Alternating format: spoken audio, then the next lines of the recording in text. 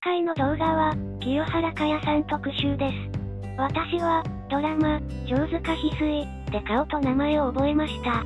2枚目は、ドラマ、上塚翡翠、のものです。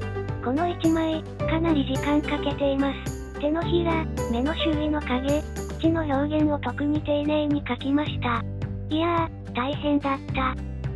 それではメイキング動画です。どうぞ